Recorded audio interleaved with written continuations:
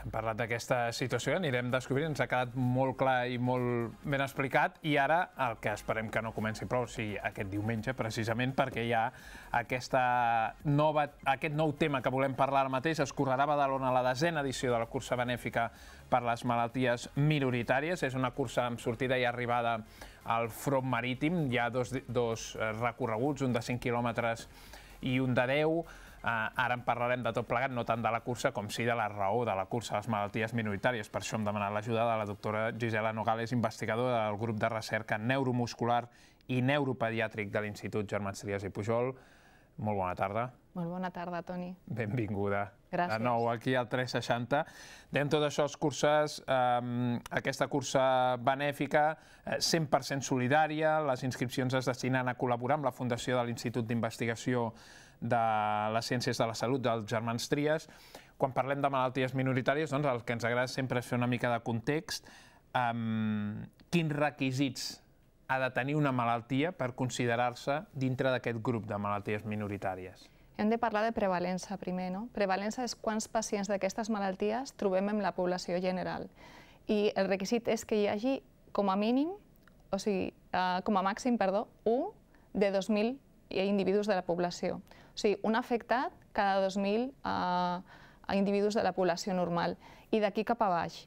O sigui, podem trobar prevalences molt, molt baixes. Fins i tot tenim pacients que aquí, a, a, a, a l'estat espanyol, a, només hi ha un pacient eh, d'aquesta malaltia. No? Són malalties ultrarares que igual a, a tot el món podem trobar 10 pacients, 15 pacients, 20 pacients. Això ja serien malalties ultra, ultra, ultra rares. Però tot el que sigui de 1 en 2.000 cap a baix es consideraria una malaltia minoritària.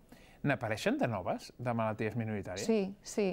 Sí, apareixen de noves a mesura que tenim més informació d'investigació, de genètica i, també de processos immunològics. No? Uh, posem nom a pacients que porten molts anys sense diagnòstic, que van eh, sent visitats per diferents uh, consultes i al final alguna persona pues, els hi pot donar una resposta a què és el que els hi passa. No?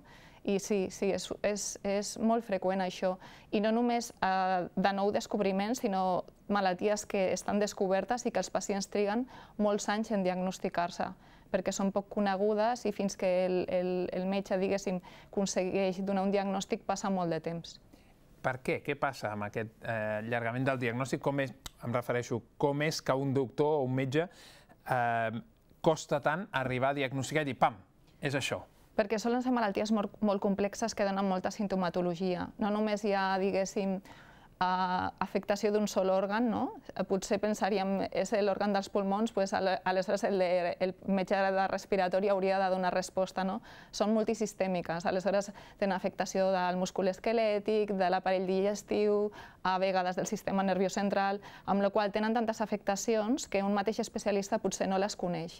Aleshores, cada cop més hi ha equips multidisciplinars que de vegades intenten trobar diagnòstic per a aquests pacients, se reuneixen molts metges de moltes uh, especialitats especialitats tots junts per intentar donar una resposta. No és que, diguéssim, no tinguem bons professionals, sinó que de vegades l'abordatge d'aquestes malalties és molt complexa i calen com molts, molts especialistes per poder-les filiar.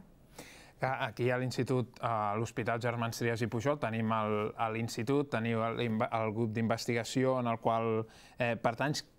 Què s'investiga en aquest grup d'investigació? Quines són les malalties que estan sobre la taula i que busqueu? O al revés, o, re, o rebeu pacients amb sintomatologia, els intenteu, intenteu encaixar dintre les malalties conegudes? Com va? Fem les dues coses. Uh, nosaltres treballem amb els neuròlegs i els pediatres de l'hospital i treballem des dels dos abordatges. Nosaltres tenim projectes d'investigació finançats en distròfies musculars, sobretot perquè treballem en el grup de neuromuscular, o sigui que el que arriba a la consulta de neuromuscular són malalties de l'aparell la, locomotor, diguéssim, del, del múscul esquelètic, sobretot neuromusculars, i tenim projectes en actiu en la distròfia miotònica tònica tipus 1, tipus 2 i en la distròfia muscular de Duchenne, que en aquests projectes nosaltres investiguem aquestes malalties, intentem conèixer millor com funcionen i intentem trobar tractaments per elles a nivell de, de mostres de pacients que estem investigant i també a través de cèl·lules que obtenim dels pacients. I després també fem l'altra part, que és que venen pacients a la unitat de neuromuscular, tenim reunions periòdiques i intentem, a través de la informació que ens donen els clínics i a través dels estudis genètics que fem en aquests pacients, intentar trobar què els, què els hi passa, quin diagnòstic tenen, perquè fins que no tenim el diagnòstic d'aquests pacients, de moment podem fer poc per ells, perquè al no conèixer la patologia no tenim com abordar-la. Podem abordar els símptomes que tenen amb diferents tipus de teràpies sintomàtiques, però no podem, diguéssim, curar l'arrel de la malaltia si no la coneixem. Uh -huh. Per tant, en el moment en què es dona un diagnòstic, eh, suposo que això és un alleujament, tot i que és complicat dir, ostres, mm, pateixo una malaltia eh, estranya i, per tant, de difícil resolució, però entenc que es viu com un alleujament, no?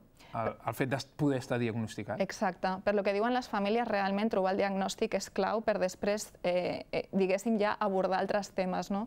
Hi ha famílies que un cop tenen el diagnòstic, pues, eh, eh, diguéssim que es connecten amb d'altres famílies que tenen, diguéssim, eh, pacients amb, amb aquest amb, amb aquest diagnòstic ja fan més pinya i intenten trobar altres solucions per lo que els hi passa, diguéssim, als seus afectats, pues, formar associacions, intentar recaudar fons per impulsar la investigació que tan necessària és, perquè recordem que si no hi ha investigació, aquests pacients no tenen, diguéssim, oportunitat de, de trobar teràpies o de millorar la seva patologia. Si no coneixen com funciona, no, no la podem, diguéssim, millorar d'alguna manera. No? O sigui que per les famílies, un cop tenen el diagnòstic, és important per tirar en el següent pas, que és intentar solucionar el problema que tenim. En el grup de recerca i d'investigació es focalitza en una malaltia en concret i es va resoldre aquest tipus de malaltia, es, es focalitza en diversos factors i s'avança en, en múltiples línies, perquè el que ens deia, si van apareixent malalties, no? si cada vegada es pot perfilar més, per tant, algú que creies que estava en el grup 1, ara resulta que has d'inventar un grup 2 per col·locar-los, no? com, com, com va, com funciona aquest trasllat, aquest procés? Intentem, diguéssim, donar resposta al, al major número possible de, de patologies, però sí que és veritat que ens centrem principalment en estudiar algunes, perquè cada cop més la, diguéssim que les teràpies són molt personalitzades. Aleshores, depenent del tipus de defecte genètic, depenent del tipus celular que s'afecti en el pacient, no? si és eh, diguéssim, la musculatura esquelètica o és el cor o és el sistema nerviós central, el tipus d'abordatge terapèutic també és diferent. Ten, tendim a una medicina més personalitzada i per això els projectes van dirigits normalment cap a un tipus de malaltia i a com solucionar-la, però sí que és veritat que de vegades si trobem solucions per una, els podem traslladar a un altre que sigui de semblant. O sigui que també treballem en grups coordinats no, de molts investigadors que treballen en moltes patologies minoritàries diferents amb un tipus de teràpia que és semblant en tots ells perquè a través del coneixement que tenen tots intentem avançar tots una mica més en la nostra patologia en, en particular no? o en la que estudiem en particular. Aquest diumenge, dèiem, es fa la cursa minoritària, desena edició de la cursa minoritària, igual com aquí estem fent divulgació de tota la feina que es fa a l'institut, la cursa en part, a part de recollir fons, també té aquesta feina, aquest objectiu divulgatiu. Mm, per què és important aquestes curses, com les que hem vist en aquestes darreres 10 edicions, per què és important que es facin? Bueno, ja, ja ho has dit tu, eh, per divulgar. O sigui, jo crec que de les coses bones que ha tingut la pandèmia és eh, entendre que la investigació és molt important per tirar endavant eh, cap a solucions de salut. No? I aquesta cursa el que visibilitza són les malalties minoritàries i que és molt important que fem investigació en elles per trobar solucions pels pacients, o sigui, la visibilitat sobretot. I després, bueno, doncs és una causa solidària, no? on poden anar les famílies, hi haurà activitats de tot tipus i sobretot doncs, intentarem passar un dia, diguéssim, de festa, un dia abans del Dia Mundial de les Malalties Minoritàries, que és el 8 de febrer. O sigui, just el dilluns és el Dia Mundial i és un bon dia, no?, el diumenge, per celebrar aquesta cursa, per donar visibilitat en aquestes malalties i per impulsar la recerca. Clar, per, eh, has dit tots els projectes, impulsar la recerca, l'última és a dir, el que el que es recapta és menys important que el fet de fer-la, simplement, que el fet d'obrir la porta? Tot, tot és molt important. En recerca tenim, diguéssim, un, una inversió, diguéssim, encara no suficient. Aleshores és tan important... Per, per dir-ho finament. per dir-ho no? finament. Per dir un dia, si vols, vingui i t'explico com està la inversió en ciència, però sí, o sigui, que és tan important la inversió que faran, saps, a tots els que s'apuntin, com el dia de la cursa. Tot serà molt important. Uh -huh. Les noves tecnologies, com afecten el tema de la investigació? Perquè abans deies, no, estem avançant molt amb el tema genètic. Entonces, a vegades, eh, és que l'altre dia teníem en Felip que ens parla moltes vegades dels avenços en robòtica, en, en estudis.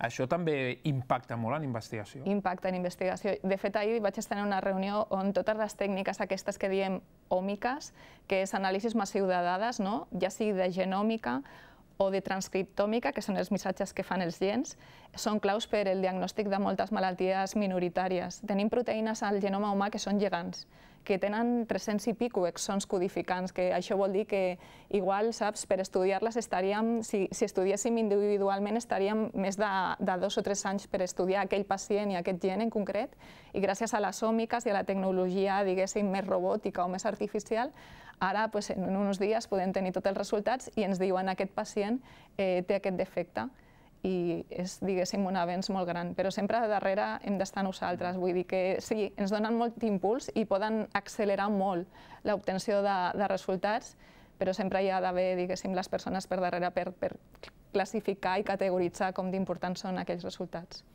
Doncs doctora Gisela Nogales, investigadora del grup de recerca neuromuscular i neuropediàtric de l'Institut Germans Trias i Pujol, moltes gràcies per ser aquí, que vagi bé la cursa gràcies a de diumenge, allà hi serem també. Gràcies.